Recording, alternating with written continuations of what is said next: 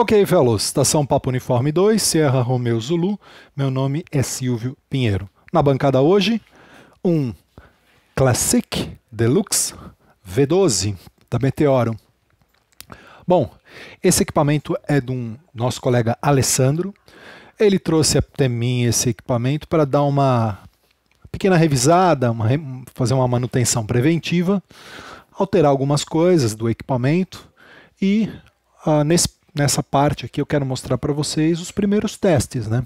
Ele já está ligado, passou pelo sistema de carga na lâmpada em série ali, então não tem nenhum problema aparentemente no que diz respeito à fonte. Ele foi removido de um combo, era originalmente projetado num combo, foi removido, colocado num gabinete novo, por sinal perfeito.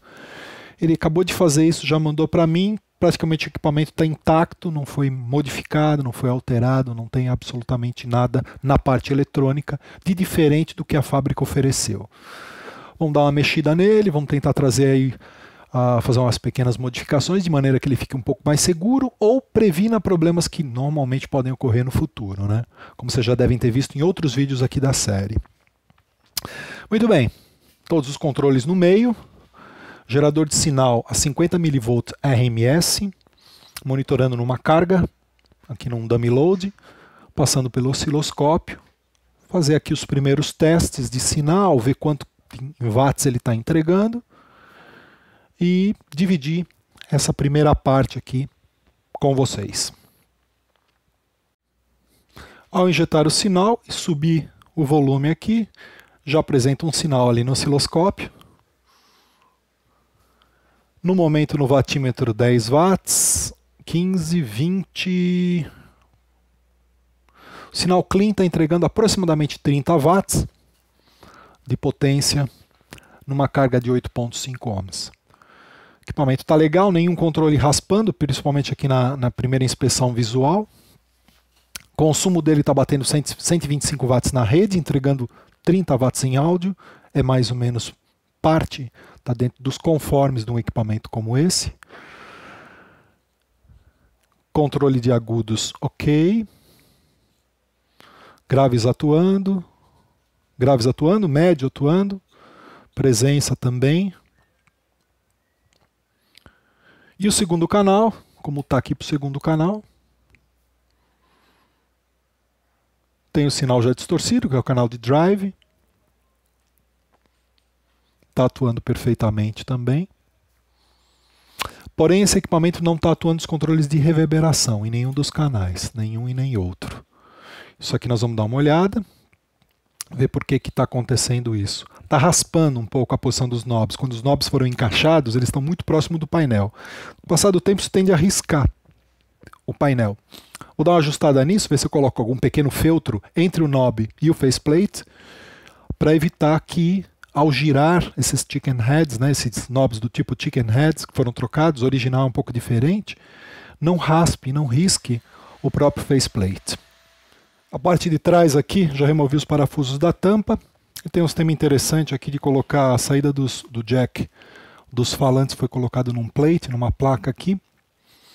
Conforme conversando com o proprietário, ele solicitou para que eu fizesse um, alguma furação aqui, alguma adaptação onde eu pudesse utilizar essa própria área do backplate para fazer a saída de, de caixa, né? a saída dos speakers. Vamos ver de que forma que a gente resolve isso. Muito bem feito esse gabinete, muito bom mesmo. Os detalhes aqui interessantes. A maneira que resolveram aqui, ó, para fixar o fio, bastante, bastante profissional, muito bem feito. Vamos dar uma modificada nisso. Ele está com duas válvulas. Deixa eu checar aqui, ó. Vamos remover.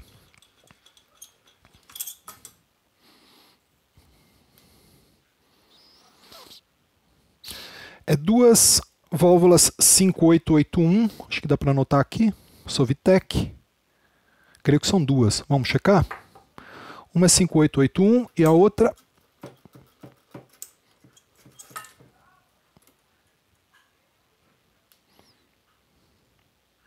cinco oito oito um também do Sovitec, depois eu vou passar nos testadores de válvula. Bom, olhando o sinal dele num primeiro teste, As válvulas parecem ok. A sonoridade, eu também fiz um teste anterior, tá ok, não estou vendo nenhum problema em relação à sonoridade. A inversora, vamos ver qual é a inversora aqui. É uma Sovitec também, não, uma Electroharmonics. É uma ECC82, ou seja, uma 12A, compatível a uma 12AT7. Electroharmonics aqui. É, identificou aqui, está identificado o Shield com AU7, mas não é uma AU. Checando novamente, deixa eu ver. ECC82. ECC82 é compatível a 12 AT7, não AU7. Continuando aqui, a V2, a válvula de drive, retomada. Deixa eu ver o que, que temos aqui. Ok, uma ECC83 da JJ, compatível com a que nós conhecemos como 12AX7. E finalmente a V1.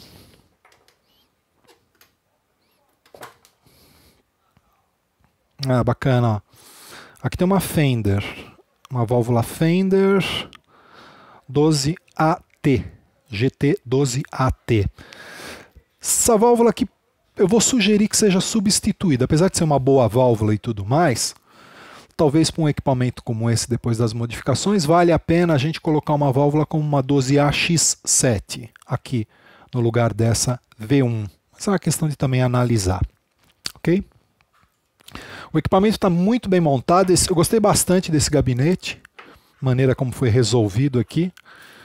Está bem legal, a maneira onde colocou ali atrás ó, o tanque da reverb, foi colocado na frente, não embaixo.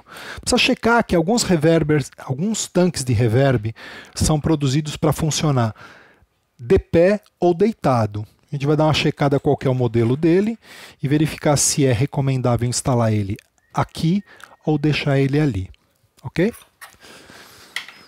Bom, transformadores parecem ser transformadores originais.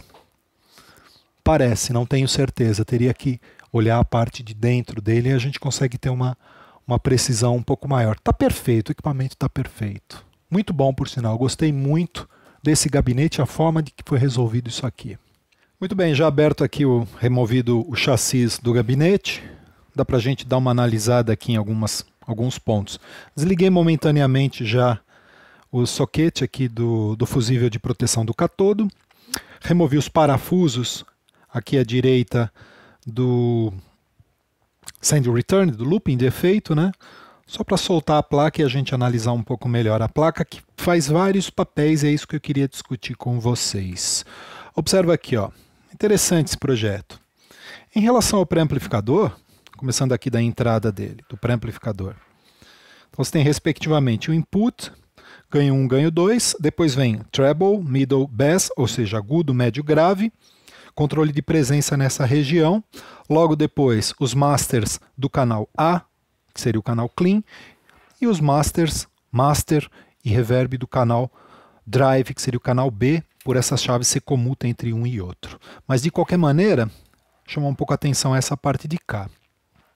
Tentei tentar encaixar aqui o melhor frame para vocês e a gente fazer a análise aqui, pelo menos uh, visual, num primeiro fazer uma inspeção visual inicialmente do que temos aqui. É uma placa padrão de um circuito muito semelhante ao JCM 900, de dois canais.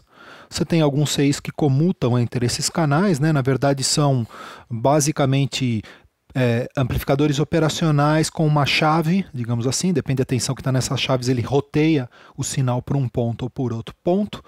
O canal drive especificamente passa por um sistema de clipping através de uma ponte retificadora em um diodo. O canal Drive também tem uma equalização fixa dele. E um pouco mais à frente a gente vai enxergar ah, nessa região de cá uma parte do circuito da, rever da reverb, saída da reverb aqui, a fonte de alimentação, a parte de estabilização, onde você tem zeners, melhor esses zeners que foram colocados, que é maior, de maior dissipação de potência. Um grande resistor de drop, onde alimenta as próprias válvulas que estão dentro dessas placas aqui. Foram instaladas placas para suportar as válvulas de pré. Interessante. Em outros, em outros projetos, vocês já devem ter visto aqui no canal, os soquetes são parafusados diretamente no chassi. Aqui o soquete é parafusado no chassi e, por sua vez, na parte de baixo tem essa, essa placa. A tensão envolvida aqui é baixa, então o perigo de faiscamento, o perigo de centelhamento ou até a questão da carbonização da placa de circuito impresso e a partir daí ela se tornar condutiva é um pouco menor, não que não exista, mas é um pouco menor. Isso aqui raramente pode acontecer. Onde é mais comum são em regiões onde tem, envolve tensões mais altas, né? Então, já que grande parte já está diretamente montado diretamente no chassis, porém algumas coisas me chamaram a atenção aqui. Bom, subir um pouquinho o frame da câmera aqui para vocês enxergarem melhor. Vindo então do estágio de saída, você tem um banco de capacitores aqui, nessa região de cá, com alguns fusíveis na placa. Uh, soldaram os fusíveis. Não há nada de errado nisso. Aqui foi feito na fábrica, tá? Não há nada de errado. A gente que gosta de eletrônica pode achar isso aqui uma blasfêmia, alguma coisa do gênero, mas é uma solução técnica que atende a um problema de uso de equipamento. Então a fábrica adotou soldar esses fusíveis nos suportes de fusível da própria placa. Tudo bem, eu sei que existem fusíveis com lead, onde através desses fusíveis com lead você consegue uh, soldar diretamente os próprios fusíveis na placa. Evitaria uma situação como essa. Particularmente a primeira vez que eu pego, eu não posso afirmar se isso foi feito na fábrica ou por alguma interferência. Não é um, não é um procedimento ruim, isso aqui não dá para criticar. Principalmente porque são fusíveis que estão na parte interna do equipamento. O usuário do equipamento não vai trocar isso aqui, não deve, se ele não tem conhecimento técnico, não deve. Só que deve ser feito por uma mão de obra especializada. Ah, então é natural que a própria mão de obra especializada tenha ferramental para remover os pontos de solda e fazer uma troca dos fusíveis, se porventura for necessário. Mas voltando então, o que, que a gente tem num, num cenário como esse? Do lado de cá, você tem um banco de capacitores, onde você tem os capacitores, os resistores de bleed, você tem alguns fusíveis de proteção, a entrada do choke e tudo mais. Porém, a retificação de, desse equipamento ele ocorre aqui. Então, o que eu acho interessante, que isso aqui num futuro pode gerar algum tipo de problema, é esse vai e volta, digamos, do projeto. Explicando um pouco melhor. O que, que acontece? Você tem então um caminho, digamos, que as coisas atuam aqui. Deixa eu colocar num ângulo aqui que eu acho que vai dar para ver bem. Bom, você tem o outlet de entrada aqui, da, da, o próprio soquete da, da rede de energia elétrica, chega até uma placa de circuito impresso. Dessa placa de circuito impresso, parte um conjunto de, de, de conectores até o soquete de fusíveis primário, o fusível primário da rede, de proteção de rede. Feito isso, vai para o transformador. Do transformador, volta para o retificador, que está do lado de cá. Do retificador, vai até o banco. Do banco, volta para a placa. E da placa, distribui para as válvulas, principalmente as válvulas de saída, as válvulas de pré e o circuito, a parte do circuito de alimentação de baixa tensão, que é retificado aqui da placa de pré. Então, você vê uma quantidade de fios que vêm e vão, né? É, não que isso seja, um, de novo, não é um problema. Não é um problema. Nós que gostamos de construir amplificadores, adotamos já um critério um pouco diferente. Mas eu não vejo isso um problema, principalmente que esse fabricante tem vários produtos em linha. Vários. Então, o que é feito muitas vezes? Uma placa com o mesmo design é aproveitada em vários outros produtos. Então, esse tipo de procedimento é muito comum, muito comum mesmo, em empresas que serializam seus produtos. Isso aqui não é nenhum problema técnico absolutamente não é um problema técnico. Só é um pouco diferente do que nós, que gostamos desse tipo de eletrônica, esperamos. Mas não é um problema. Não, não, não, não, não, é, não é possível você realizar uma crítica num equipamento desse por esse motivo, de modularizar o projeto. Existem inclusive projetos gringos, carésimos, super caros, que têm esse mesmo conceito de modularização. Ah, é, são projetos que poderiam ser melhor, melhor feitos, melhor, melhor projetados, se porventura existisse um único modelo. Como existem vários modelos pelo fabricante, ele adota essa técnica, não há nenhum problema. Porém, quanto mais pontos, quanto mais regiões que você tenha num circuito redundante, digamos assim, mais potencial de problema que você possa ter. Um exemplo disso é bonito. Eu acho realmente bonito. Foi feito um trabalho de trançada aqui muito bonito. Mas isso aqui é para chave de tensão, 110, 220, que chega até uma placa e dessa placa ramifica para o transformador. Nós que construímos equipamentos, nós optamos em já fazer isso aqui dentro de um único wiring, uma coisa um pouco mais uh, menos suscetível a erros. Mas nota, num caso como esse, terá a nossa mão de obra, terá a nossa interferência na mão de obra. Uma linha de produção se resolve realmente muito mais fácil assim, porque não é necessário você ter um nível de especialização técnica em quem é responsável apenas por encaixar, basicamente fazer o um encaixe de um conector. Encaixou, foi, não precisa ter mão de obra especializada, não há ponto de solda e tudo mais. Então, nas linhas de montagem é comum, tranquilamente, hoje em dia, adotar procedimentos como esse. Como essa placa. Essa placa também tem múltiplo uso. Tanto que tem áreas nela que não estão populadas. Porque em outros tipos e outros modelos receberão os componentes aqui para esses outros modelos com determinadas características.